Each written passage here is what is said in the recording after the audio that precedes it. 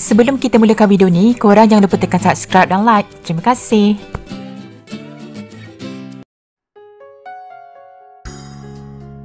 Selepas hampir tiga dekad berkhidmat untuk mengharumkan industri fashion tanah air, Datuk Rizalman Ibrahim membuat kejutan ramai semasa pertunjukan fashion ke Sumajiwa dan telah mengumumkan dia ingin bersara. Berita itu nyata memberikan kejutan kepada tetamu yang hadir kerana dengan kenyataan tersebut menunjukkan bahawa adalah pertunjukan fashionnya yang terakhir. Dikabarkan beliau menyerahkan jenama dan legasi Rizalman Ibrahim kepada pembantunya yang setia bersamanya selama 15 tahun iaitu Faizul Surani. Menurut Datuk Rizalman lagi, semasa masih ada tenaga dan diberi peluang untuk bernafas, beliau mahu melakukan persediaan secukupnya sebagai bekalan pada hari mendatang.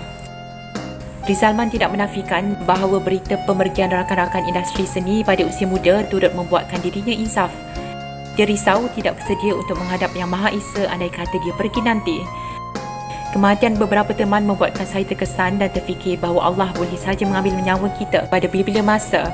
Saya takut tidak bersedia apabila dijemput Allah. Saya mahu pergi dalam keadaan bersedia. Pengunduran ini adalah pelan persiapan saya untuk menghadapi hari kemudian. Semoga niat baik Datuk Rizalman dipermudahkan dan istiqamah. Amin.